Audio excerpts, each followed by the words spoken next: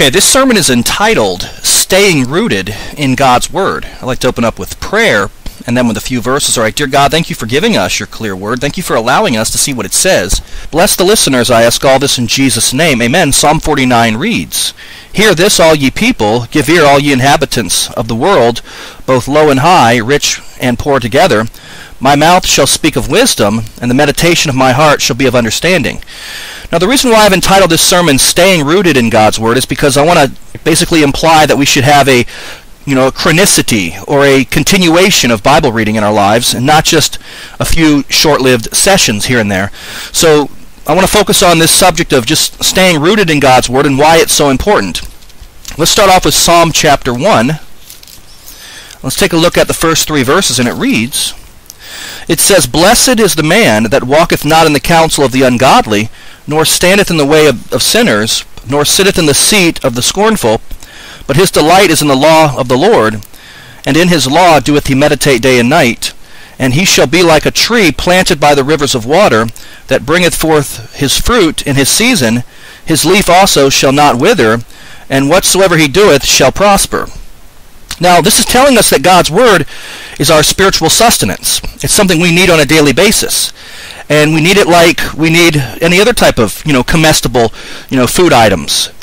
We need it for just spiritual growth. And it tells us right here we can have true prosperity if we continue to get plugged into God's Word. It's like kind of like recharging, you know, your spiritual batteries.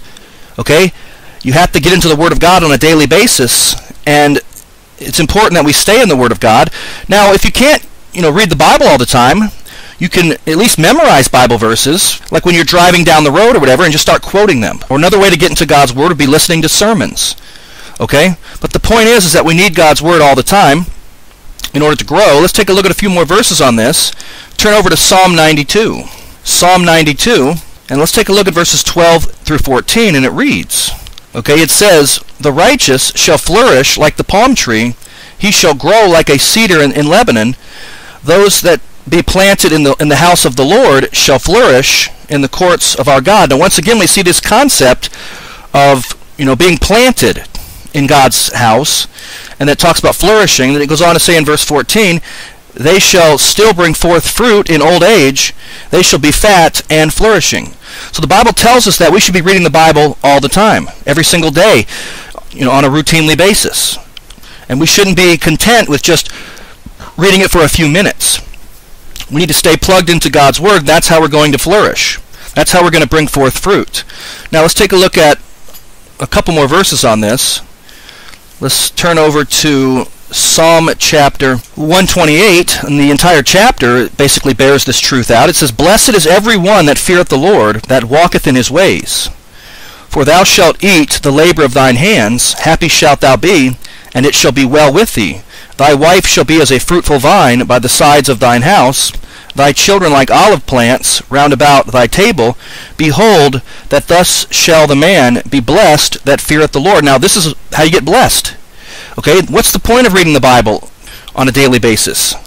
The point of it's to get blessed by God. Okay? It goes on to say in verse 5 The Lord shall bless thee out of Zion, and thou shalt see the good of Jerusalem all the days of thy life.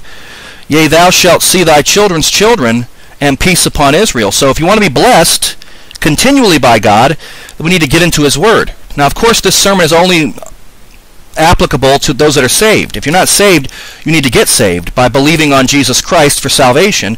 The Bible says, He that believeth on the Son hath everlasting life. Once you believe on Jesus Christ alone, you're saved forever. And then after you're saved, God wants you to grow. The Bible says, desire the sincere milk of the Word that you may grow thereby. And the key is to stay plugged into the Word of God and to be rooted in the Word of God and to read it all the time.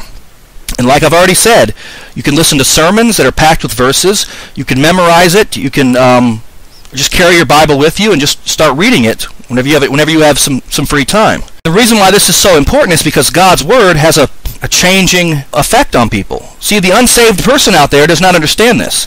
They think that the Bible's just a just an average, everyday, run-of-the-mill book, and the words in the words therein are just nugatory and arbitrary. They have no meaning. They don't. They're just a bunch of fables and anecdotes and whatever. When in in reality, the Word of God is alive.